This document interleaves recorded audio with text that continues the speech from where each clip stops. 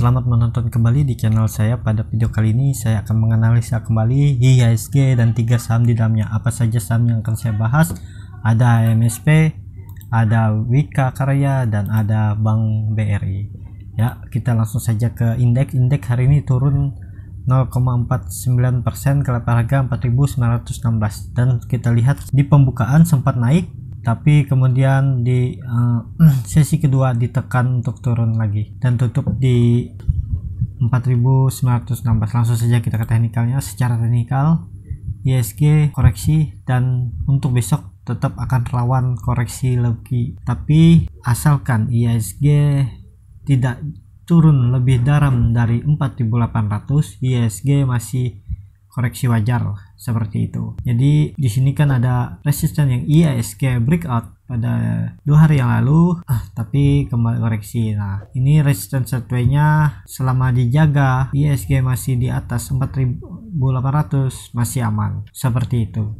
Lanjut kita ke saham ke pertama. Saham pertama ada HM Sampurna yang hari ini turun 2,97% ke level harga 1795 langsung saja kita ke teknikalnya secara teknikal HMSP sudah tiga kali mencoba untuk breakout dari dynamic MA 150 nya dan HMSP tidak mampu. Potensi RIS HMSP ke 1600 menguji supportnya ke arah 1600 supportnya seperti itu. Walaupun di sini ada support terdekatnya di MA20 di 1760, tapi kalau seperti ini dan terlihat dari MACD juga sudah terlihat uh, garis biru menyentuh garis merah dan mau dead cross dan uh, bar di histogram di bawah 0 sudah terbentuk potensi HMSP akan menguji 1600 mengarah ke 1600 di MA60 nya dan bahkan ke 1600 ataupun dan 1500 ke daerah sini. Walaupun sudah terbentuk lower uh, higher low baru ini arahnya kalau kita gambar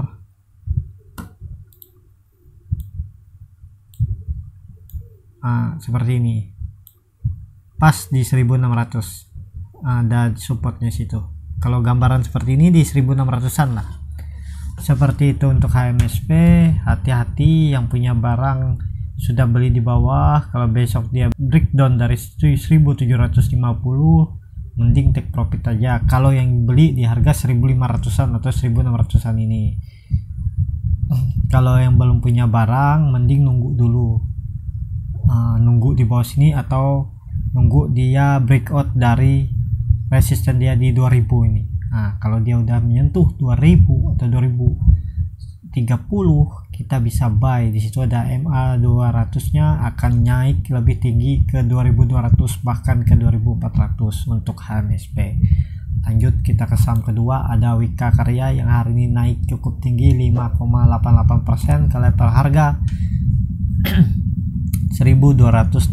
Langsung saja kita ke teknikalnya secara teknikal Wika Karya sudah breakout dari resisten neckline-nya Dah dua kendal di atas masih berpotensi dan hari ini sempat naik ke level harga 1200 tapi kembali turun tertekan.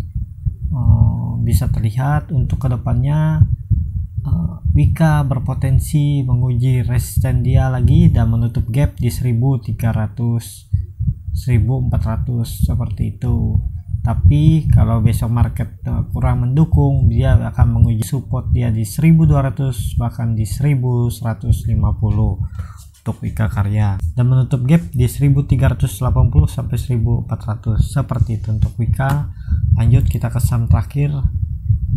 Saham BBRI yang hari ini turun lagi 1,29% ke level harga 3060 langsung saja kita ke teknikalnya. Secara teknikal bisa terlihat tiga kali dia menguji resisten di 3150 sampai 3200 tiga kali dia tidak mampu. Nih. Uh, tapi kalau ini belum bisa terkonfirmasi tidak mampu ya tunggu satu dua candle lagi.